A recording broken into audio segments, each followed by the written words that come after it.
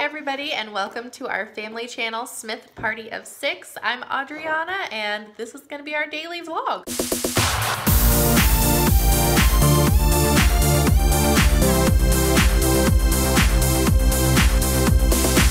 We just finished up with homeschool today. Mm-hmm.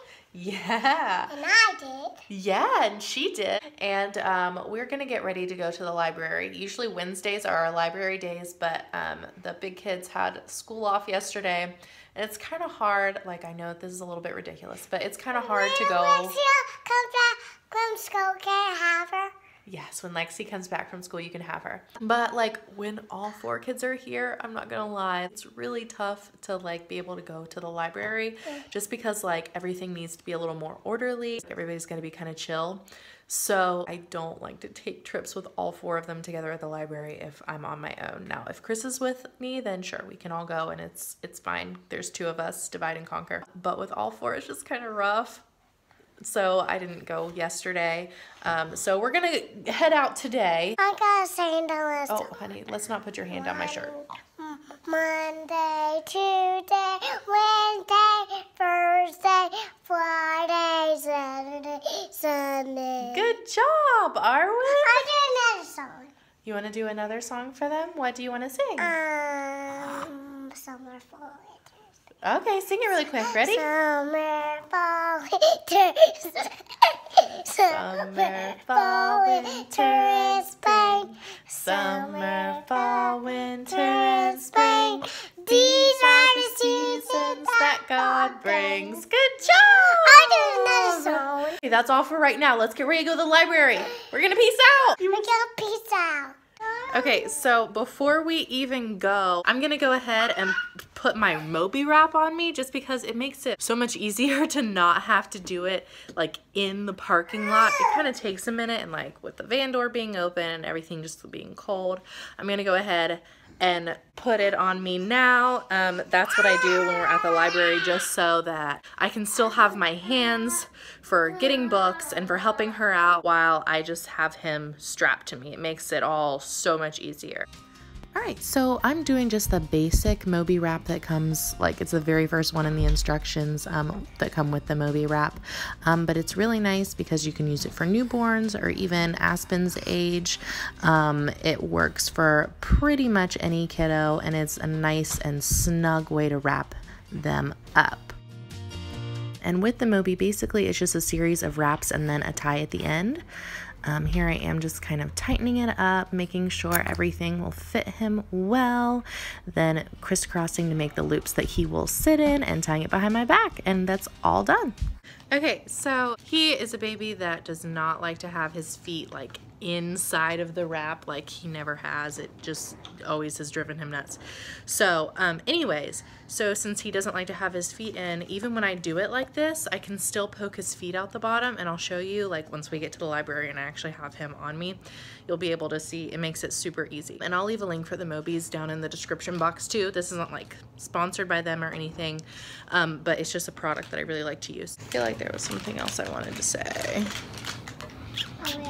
and then once I have this on me, I will just go ahead and put my sweater over top of this. And then like even when we're outside and like walking into the library, I can like kind of wrap my sweater around him to keep some of the cool air off of him. Normally if um, we're gonna be going anywhere, then I take this diaper bag with us. Oh goodness, he hates being in his car seat. He is waiting. But instead, like when we're going to the library, I'd rather just go ahead and just take my wallet and not have something big and bulky to carry. We won't be there forever. So um, we probably won't actually need like any of the extra diapers or anything like that. I know it's a little bit of a risk like not having it with me at all times. Um, a lot of times I'll still just like have it in the van just in case I need to run out and get it for something. But with the library trip, I really like to just get in, get a few things that we like, and get back out.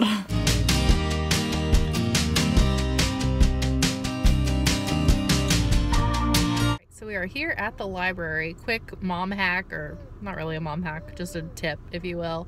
Um, get your library card out and have it in a place in your wallet that you know exactly where it is so that when it comes time to actually check out, you're not like fumbling through your wallet. The first time that I came to the library with them, it was like a complete disaster. Aspen had started to cry, Arwen wasn't feeling it. I was trying so hard to just get out of there, and I was thumbing through my wallet trying to find the card, and it was just it was just a hot mess. All right, we're gonna head in. I hope that we can find some books that like point to Jesus too and aren't just like Santa Christmassy, but we'll see. This? Yeah. Christmas tree. Babe, you wanna go through the little door? Yeah, the little door. All right, go ahead.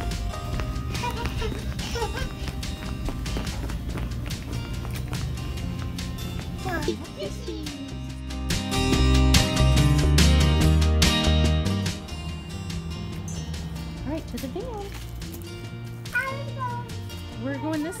Come on. Right here. Okay, so I told you guys that I would show you um, what it looked like once he was strapped in, and then I completely forgot. So this is at the end of our trip. We're getting ready to get back in the car now, but he is all strapped in there, and his legs also poke out the bottom. And if you want to see like a more detailed video of exactly how to do it, I can go back and show you guys too. All right, we were able to get like five books.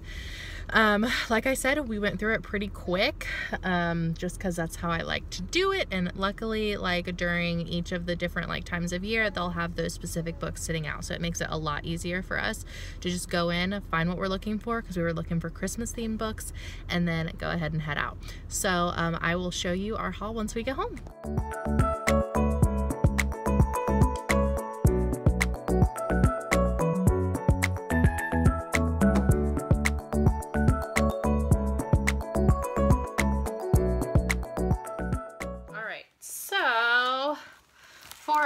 Library haul.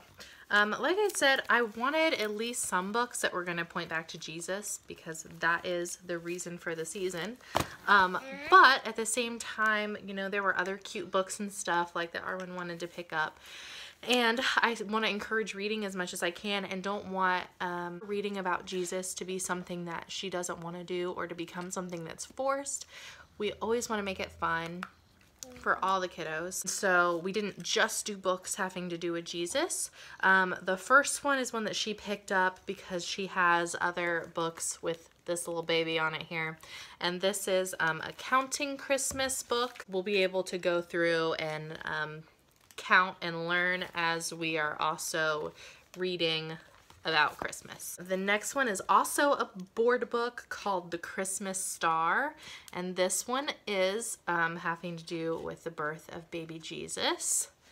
So I'm excited about that one. Next, this one looks fun. Um, Millie in the Snow, and it's about this cute little cow. So I'm excited um, to read this one with all the kiddos, and it's something that the big kids will enjoy too. It's not a board book. Um, and the illustrations are fun. It's kind of got a lot going on, so we'll be able to um, look at the pictures a lot. It's something that they'll enjoy more than just one time. Next is The Drummer Boy. Um, it's got, it's kind of like some, some more like rich, like darker type of illustration in it. Um, but it's all about this little um, drummer boy that is lost from home. And then at the end, he's found again. And also it has this nice little picture with the nativity um, at the end there. And we'll be able to talk more about that with them. And I also got them this fun little um, like nativity set to paint that we're going to be doing while we're reading these books. And I'll show it to you here um, in just a minute. The last book is one that's by Max Lucado. And I like some of his other children's books, so I thought that this one would be a good one to get. Um, full disclosure, I hadn't actually looked through it yet. I just saw that it was a Max Lucado one and figured that um, it would be something that I approved of. So I just went ahead and picked it up. It's called Alabaster's Song, Christmas Through the Eyes of an Angel. So I am interested um, to get into this one and see what it's all about. See some of the, I'll just go ahead and show you some of the illustrations and stuff here. So yeah, I'm excited to read that one for the kids too. All right, let me grab their nativity set and I'll show that to you. All right, so somebody also needed to be fed, so I went ahead and threw him on really quick.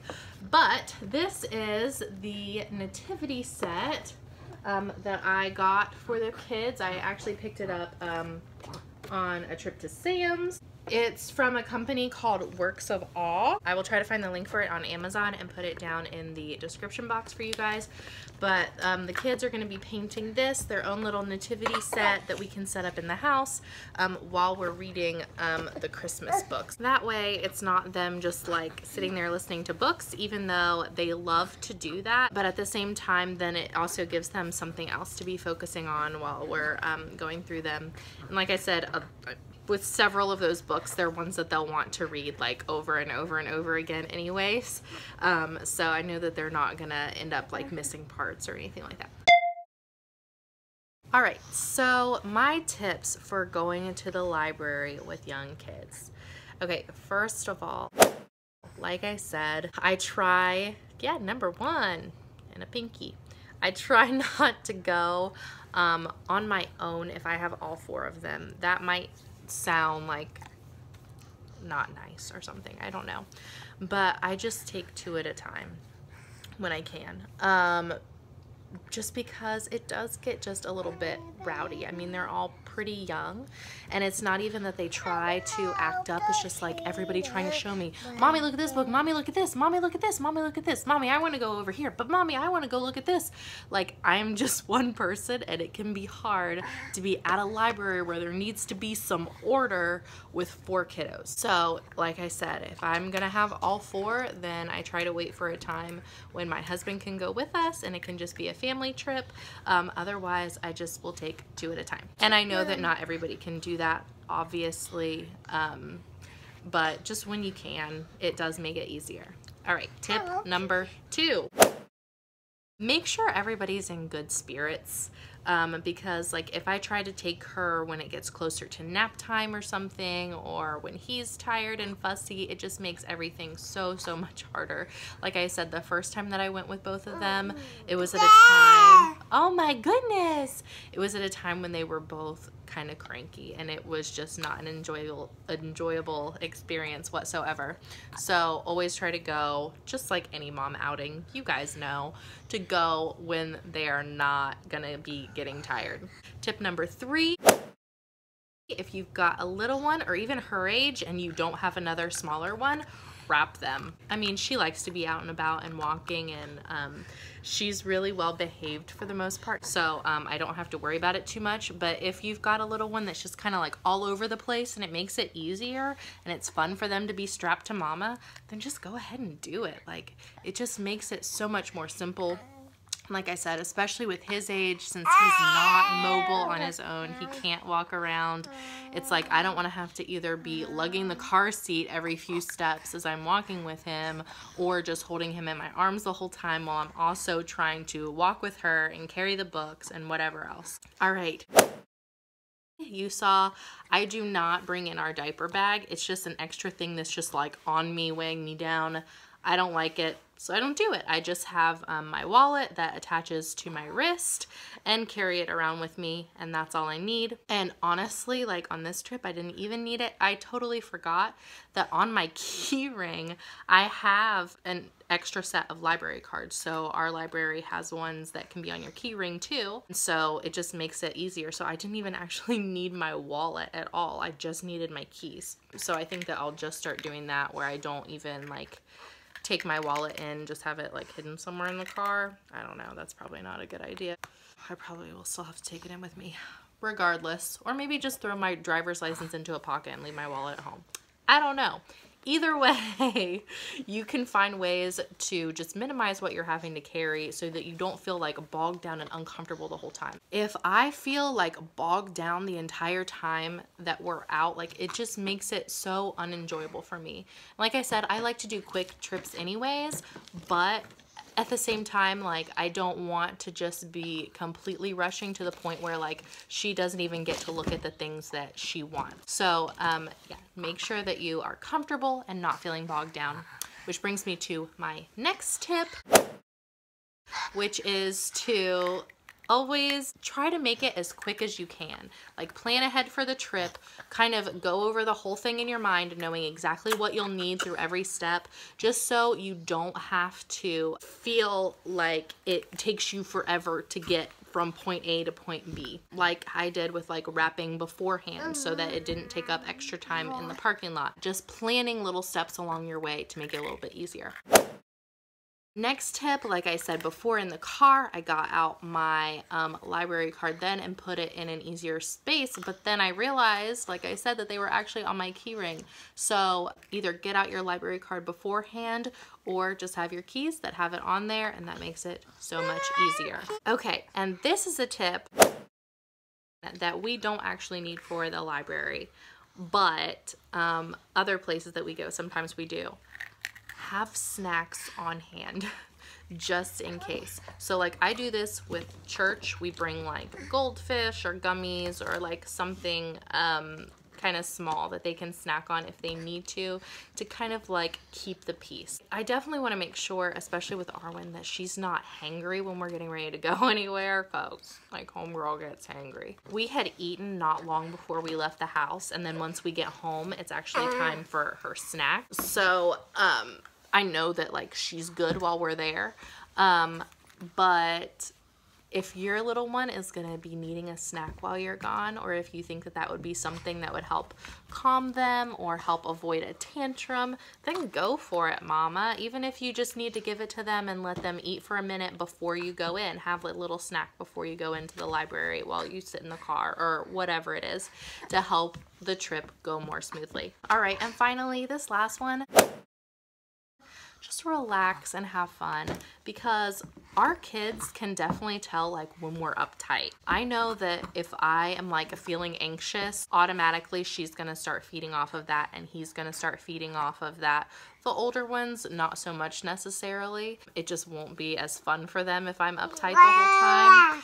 But make it an enjoyable thing to where like they want to go back to the library and it's not something where like oh mom acts mad the whole time arwen don't do that nope don't do that where it's not something where mom acts mad the whole entire time so now I don't even like to go. But Just keep that in mind. And I think that we put so much pressure on ourselves sometimes just to make things like perfect and make sure that our kids act perfect the whole time. But honestly, like my kids are fairly well behaved, but they definitely have their moments. And I think that that can be true of anyone. So like most people that are out kind of will give you that nod like if your kid is kind of like acting up to let you know hey i get it you're not alone type of thing most people are fairly understanding and the ones who aren't oh well i guess they were either perfect or they've never had children um, so things are going to happen, but if we're uptight and worried about them the whole time, that actually makes them more likely to happen. So just relax, have fun, take them, you know, don't, I, I never want to look back and like worry like, did I do, um, did I do enough? Like, it's not like I'm ever going to look back and be like, man, I really wish I wouldn't have taken the kids to the library so often. If anything, it's going to be me looking back going, I wish I would have done more and not, I wish I would have done less. So I never want the difficulties to make it to where I just don't do anything at all because that's kind of like how my personality is. A lot of times I just, if it's to be um, too hard to do something with them, then I'm like, oh my gosh, I don't even want to do this. Like I already know ahead of time this is gonna be rough. It makes me just want to stay home and avoid it all. But that's not the type of life that I want for them. That's not the childhood that I want them to remember. I want them to have fun. Stop it, you goofy boy. I want them to have fun and to have memories of going to the library or the zoo or even just the store with mama, whatever. And just to not let um, all the little things that we worry about hinder that. Interrupting to give you a bonus tip because I almost forgot exit strategy. Like that is can be the hardest thing sometimes is getting them to leave after you've had all the fun with them.